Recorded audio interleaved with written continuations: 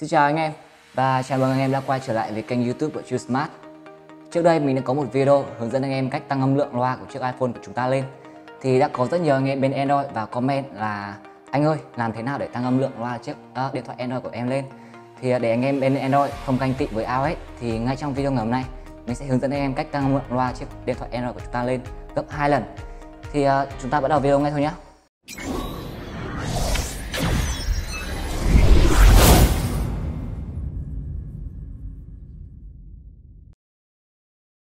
Thì để tăng âm lượng loa chiếc ờ, điện thoại Android chúng ta lên thì anh em hãy vào cho mình ờ, Play Store và tìm ứng dụng mang tên là loa booster.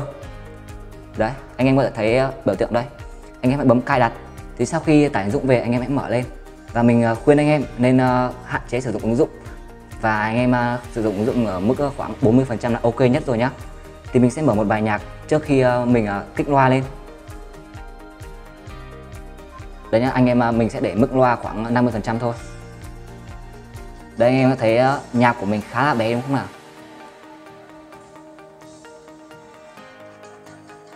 Rồi, bây giờ mình sẽ ra ngoài và mình kích loa lên khoảng uh, 40%. tại mình để 36 thôi. Rồi mình sẽ kích loa lên cho anh em xem. Thấy sự khác biệt luôn.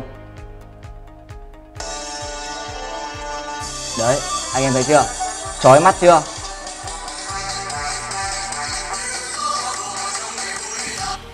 Quá là chói mắt đúng không nào? Thì mình khuyên anh em không nên uh, sử dụng ứng dụng này khi chúng ta đeo tai nghe.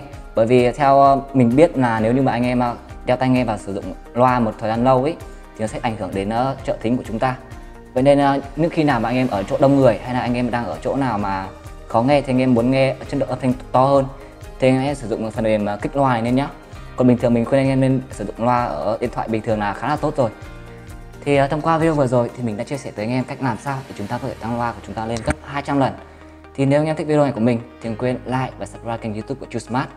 Còn anh em mà có thủ thuật hay ứng dụng nào hay thì hãy ờ, comment xuống bên dưới để mình làm. Và bây giờ thì tạm biệt và hẹn gặp lại anh em trong các video lần sau.